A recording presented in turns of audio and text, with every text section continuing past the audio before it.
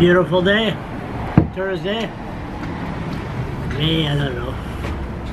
May 8 or whatever. Anyway, I took a seizure last night. I was walking the dog on Union Street and uh, let's say you know I sat down I said I had this funny feeling next thing you know I was in the uh, ambulance on my way to the hospital. Just came out.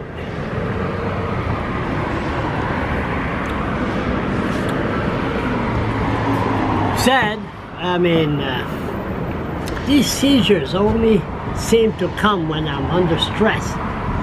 Right the, uh, the cops and the justice system. Anyway never mind I don't want to talk about me me me. What I like to and when I arrived there the staff. Oh my god again staff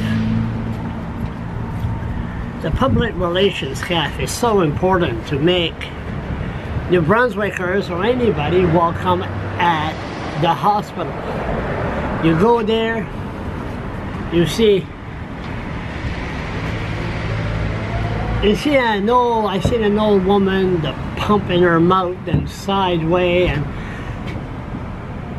the paramedic were carrying her and then she was followed by about five, six family members, all concerned and they're all looking around and they've never been there before. And, uh, you know, I mean, we have to start looking at the issue of the hospital and healthcare. We have to. Never mind these bureaucrats making all kinds of money for their pension. You know, I mean, it, it, we're all going to appear in front of the same God. Okay? Don't matter if you're a junkie on the street or a bureaucrat with their with a pump in their mouth, their eyes roll over, that their their, their eyes roll over and they got 15 minutes to live or to face their maker.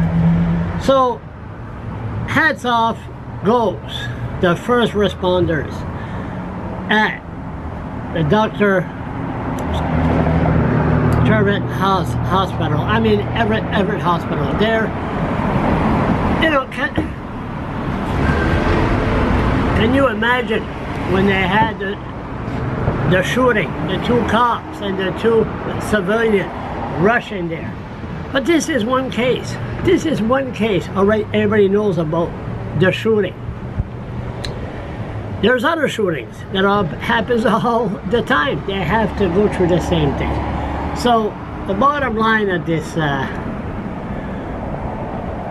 rant, hats off to healthcare workers at the Dr. Everett Hospital.